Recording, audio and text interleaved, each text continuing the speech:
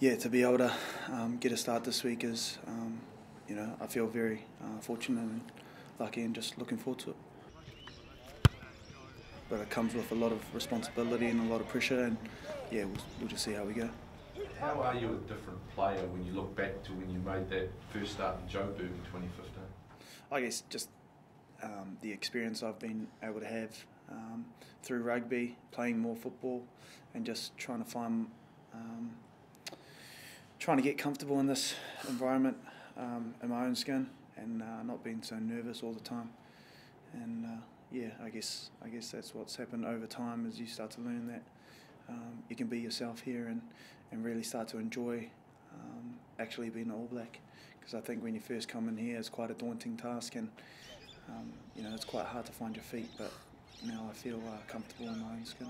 You know, most first first year players uh, want to get to meetings sort of 20, 20 minutes before or get on the bus nice and early so that you actually have somewhere to sit. Um, but to be fair, um, I think it's just natural because you're coming into um, a team that you've always dreamt about playing for, and, and, and you're playing alongside or training alongside guys that you um, grew up watching or idolising on the TV.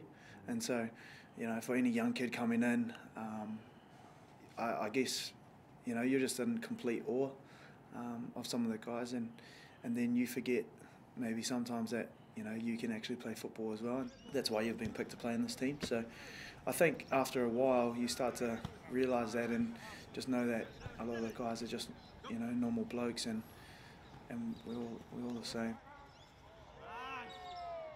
Lima, um, just back on the comfort thing when it comes to I guess kicking duties as well. Where are you um, at comfort wise with that and uh, do you have to change up your processes or anything depending on the ground with Suncorp Stadium? Oh, you know, I, I don't mind kicking a goal. It's uh, it's pretty good fun.